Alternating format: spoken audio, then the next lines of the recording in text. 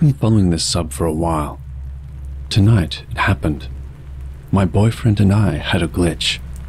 Well, more like time just stopped. Hang in with me for this story. Myself, my boyfriend, and his son were getting into the car after dinner. He made a point to point at the clock at 6:45 p.m. and say his daughter should be finished with her cheerleading and should be heading home around 8. So it was 6:45 p.m. It takes around 15 minutes to get back to our house from dinner. We got home. We messed around for let's say another 20 minutes and then started a movie. Here's where the glitch happens. My boyfriend turned to me almost all the way through the movie and asked what time it is. I tap my phone and check, and it was 7:30 p.m. 7:30. He just sat straight up and paused the movie. I didn't even get it at first. He started saying, "Oh my god, we lost an hour." I then understood what he was saying and asked to see how far into the movie we were. The time on the movie said we had watched an hour and 20 minutes. There is no way we could have driven home from dinner, hung out, watched an hour and 20 minutes of a movie, and it be 7:30 p.m. We are still shook. It's like time stopped. Has anyone ever had this happen? It's messed us up bad.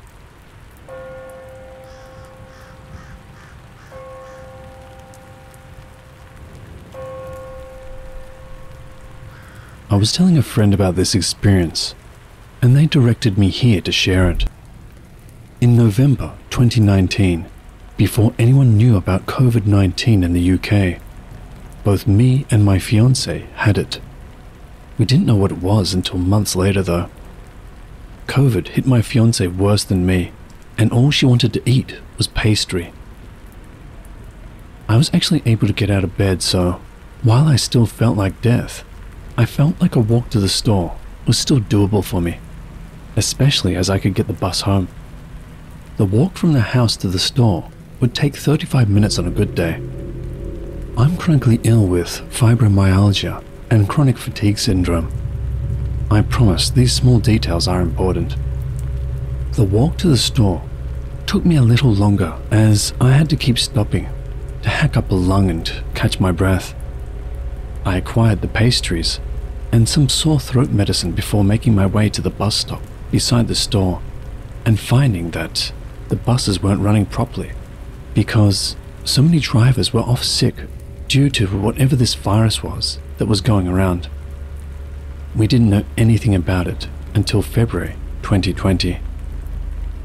So I text my fiance right as I start walking from the bus station that I'm on my way, but walking so I'll be back when I'm back. She replied almost immediately with an okay and to take my time.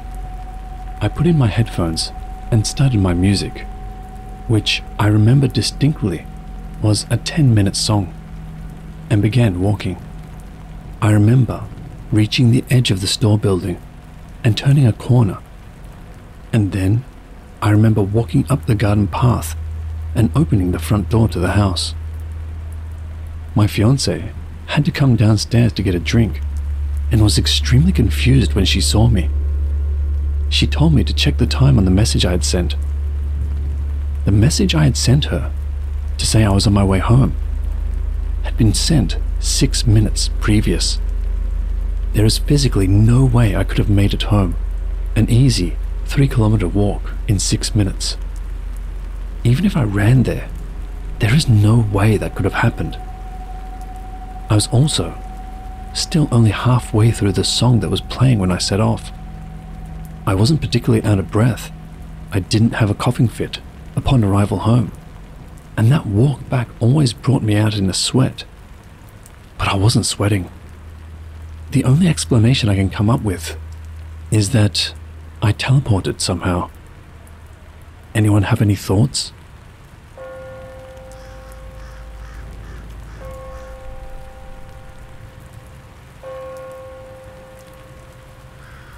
Never forget that night. It's etched in my memory as one of the most surreal experiences of my life. It was about 10 years ago. A friend and I were driving through the vast, empty stretches of Saskatchewan, making our way from Winnipeg to Vancouver. It was around 11:30, maybe midnight, and the darkness was absolute. The stars barely cut through the sky, and our headlights seemed to disappear into the blackness ahead. It was as ordinary as a midnight drive could be, with nothing but the hum of the road and kilometers of fields on either side. But then, in a split second, everything changed. Out of nowhere, the night was replaced by the brightness of broad daylight. Not a distant glow or flash, but full, high noon daylight. The sky turned blue, and we could see fields stretching for kilometers in every direction, clear as if it were the middle of the day. It was as if the universe had flipped a switch, casting sunlight over the land for a few seconds, then snatching it back. My friend and I were stunned, almost frozen, glancing at each other to confirm we were both witnessing this impossible phenomenon. The whole thing lasted maybe five seconds before the darkness closed in around us again. Over the next few days, we searched every corner of the internet, desperate for an explanation. Maybe a massive explosion or some unknown atmospheric event. But there was nothing. No reports, no clues, no theories. To this day, my friend and I still talk about it, wondering what in the world we saw that night. It remains one of the most mysterious, unexplainable events of my life. Like a forgotten memory of a dream that no one else could ever believe.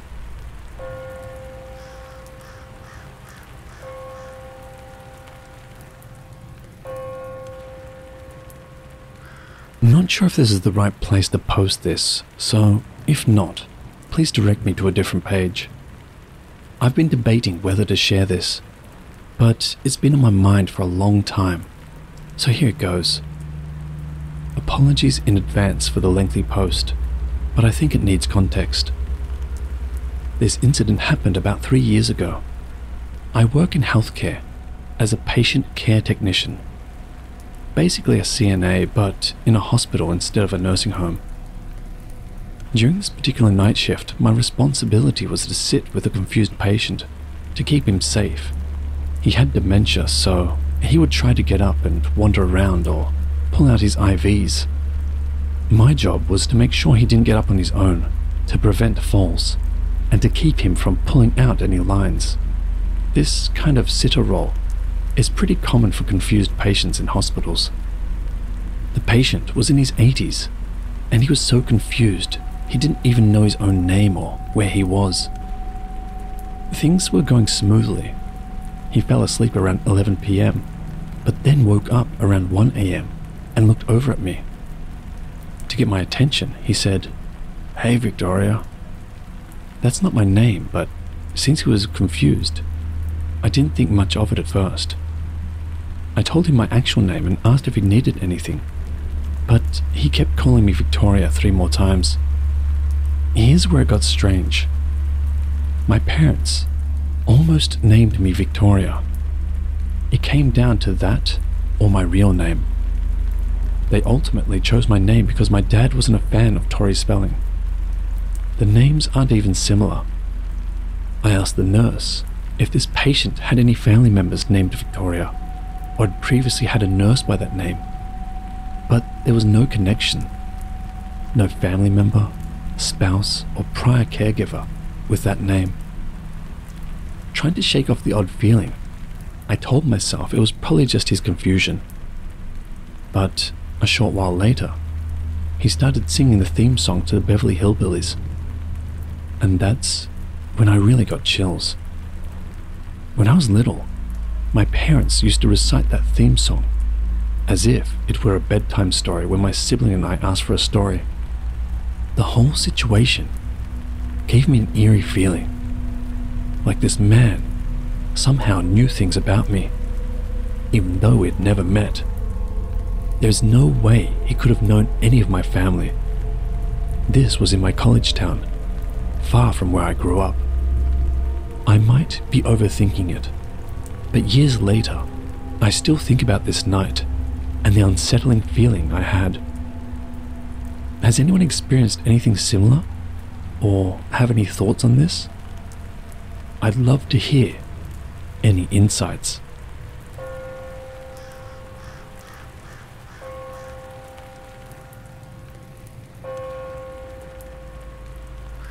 Today, I experienced something that I can't explain. Every morning when I go to work, I stop at a convenience store on the way and pick up a can of energy juice for the drive. I have a fairly long commute to work, so I normally finish the drink whilst en route. Yesterday, I went to the store and picked up some new brand I hadn't tried before. It has a distinctive bright pink can Whilst I was driving, I opened the can, took a sip, and decided I wasn't a fan, so I put it back into the cup holder and continued on my drive. This morning, I went about my routine as normal, stopped off at the store, went in, and bought a can of old fashioned Red Bull for the drive. I walked back to my car and, seeing yesterday's can still in place on the cup holder, I picked it up, feeling that it was still nearly full walked over to the bin which is outside the store and put it in. I then walked back to my car, opened the door, and freeze in place. There, in my cup holder, is the bright pink can. After standing in thought for a minute, I pick it up, still full, and walk back over to the bin, trying to process what had just happened. When I get to the bin, I peer inside and see that the bright pink can I had just placed inside was still there. I didn't care at this point, so I put my hand into the bin and picked the can up. Some of the juice had come out from the can, being slightly on its side, but it was still basically full. The bin was half full, but I couldn't see any other cans or anything resembling my drink inside the bin. So there I am, standing with a can of gross, bright pink energy juice in each hand, wondering, is this a glitch in the Matrix? I called my wife, who just laughed at me and said I was goofing around. And really, it is a pretty dull story compared to some I have read here. But I just can't think of a logical explanation.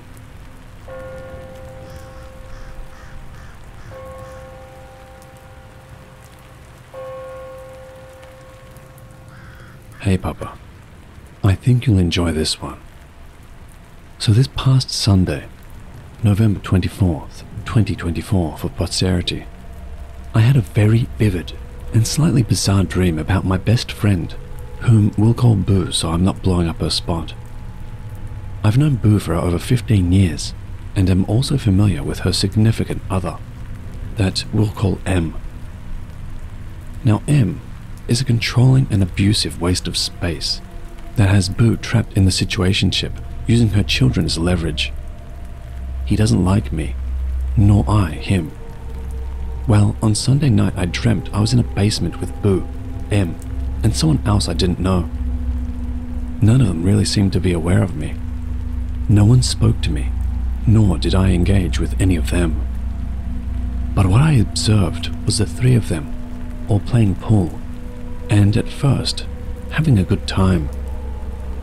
But as the dream went on, the vibe started getting way off, and it devolved into Boo and M having a pretty intense argument. Alright, not really all that far fetched so far. Then yesterday, November 27th, 2024, Boo called me as she usually does once a week while she's driving home from work. I immediately told her about my dream because it's really strange for my dreams to stay with me that strongly, especially for two days. So I tell her about the dream, and then asked her if anything weird had happened between her and M. And her exact words were, Holy shit, I'm kind of freaking out. You had this dream Sunday night? And I confirmed. And her follow up was, in a basement, playing pool. Again, I confirmed. And from there, she really freaked out and told me in very explicit detail everything that had gone on that night, and my dream was spot on. The third person in the dream that I didn't know is M's brother, S, and they were playing pool at S's house in his basement where his bar is set up. So maybe it was less of a dream and more of an astral projection? I'm not sure what to think about it. It kind of sketches me out, but also I'm kind of proud. It's at least equal parts creepy and cool. Thanks for reading this.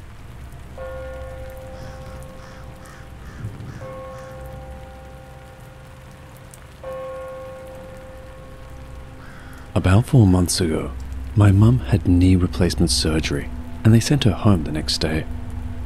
After three days, her leg was kind of red and significantly more swollen. She also had a fever, so we decided to go back to the hospital. This was around 10 pm and it was dark. I was driving. Mum was in the passenger seat. My 12 year old daughter was in the back middle seat. We live in a very rural area and after about 10 miles, we hadn't met one single other vehicle. It's that rural. Along this stretch of highway, there are a few really tight curves that have a 30 mile per hour reduced speed limit sign. No flashing lights or anything else, just a yellow metal sign. There's a creek on one side and a steep cliff on the other, so no shoulder, no driveways, nowhere for another car to be besides on the road, as we were. After the first curve, all of a sudden we see a bright blue light flash through the car. I saw it on the trees in front of me and behind me when I looked in the door mirror. Then it was gone. Like cop lights, but without any red or headlights behind us. Just for one second, no sound, no other cars, in front or behind us, and we're only going 30 miles per hour. All three of us saw it, the exact same thing. It really freaked me out because I'm a very logical, rational person, and I can say this is the only experience I've had my whole life that I can't explain. Also, there are two wooden crosses beside the road where a tractor trailer crashed and two people died in that spot. I remember that accident because it tore up the highway where the semi jackknifed, and that section had to be repaved.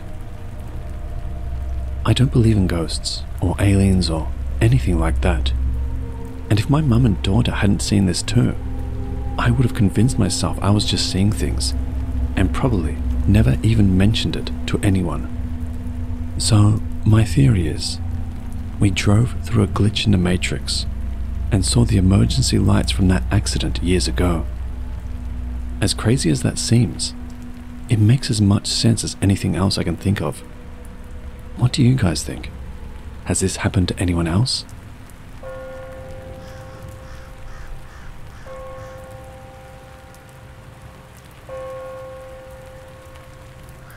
Hello everyone. I've been reading stories on this subreddit for some time and never thought that I would ever experience something even remotely similar. But, lo and behold, something pretty odd happened to me in an elevator, of all places, and I'd like to ask your opinion on it. Anyway, as a disclaimer, I'm the type of person who'd rather ignore anything that seems out of the ordinary and go on about their life. I try to be as rational as possible. However, I keep thinking about this situation. Maybe I interpreted the whole situation wrong. I don't know. I'll let you guys form your own opinions. Yesterday, I had to pick up a paper for an exam from the university where it's also hosted. I'm not a student there, so I'm not very familiar with the place. And the last time I went there was last year for a similar exam. Anyway, this is just to give you a little more context. The story goes like this. The university is extremely crowded since it's noon. I take the elevator to the third floor, go pick up the paper, from one of their offices, then go back to the elevators. I get into the elevator with these two girls. I stand right next to the buttons. This is my fault too, because I hesitated to press my floor. But I wasn't sure if the one button was the one for the ground floor or for the first floor. Anyway, the two girls talked for a bit before pressing the one button. First floor, not ground floor, as I figured later, which was the P button. The two girls talked for a bit before pressing the one button, first floor, and going silent. One was not the ground floor, as I figured later, which was the P button. Everything is normal so far. As we get to the first floor, I step out a bit to check if it's the floor I came from. Obviously, it's not. I get back in.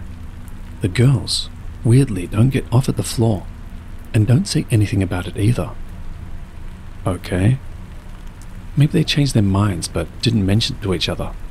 Whatever. Two or three people, I can't remember the exact number, but it's more than one person, get in with us from the first floor. We'll call them the second group for clarity, because it's about to get even more complicated. The second group pressed the buttons for the third floor and the fifth floor. Still normal.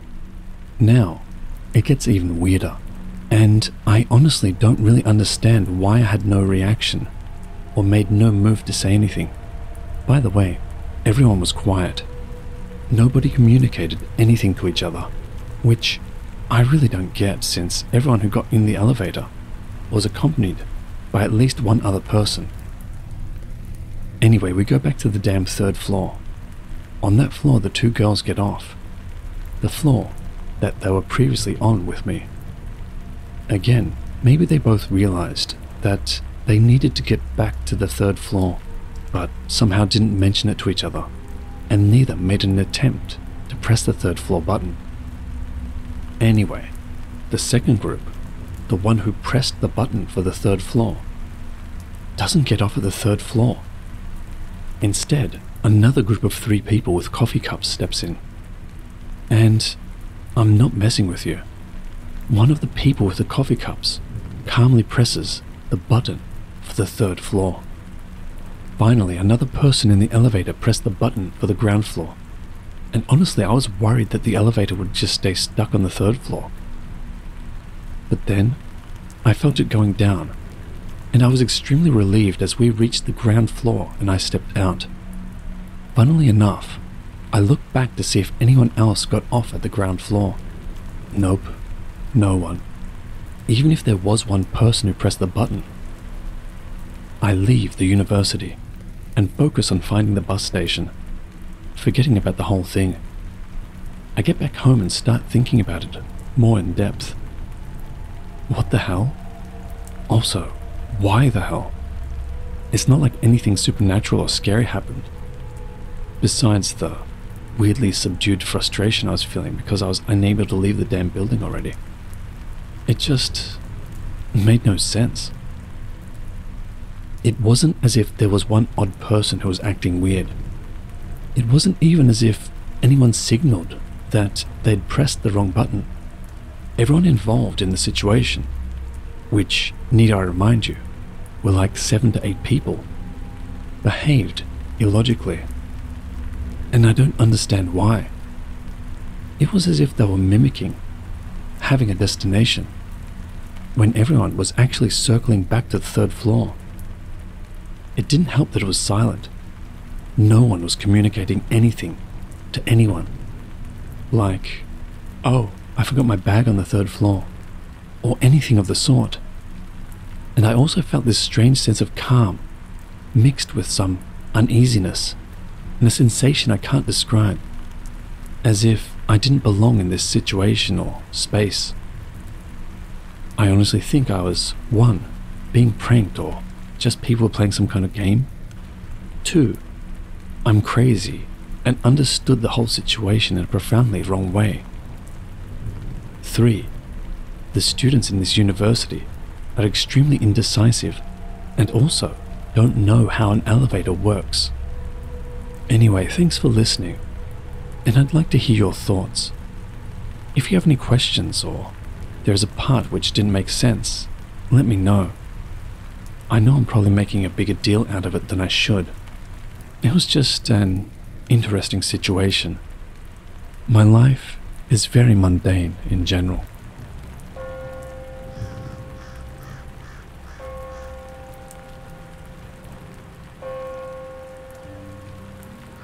Hello, watchers and listeners.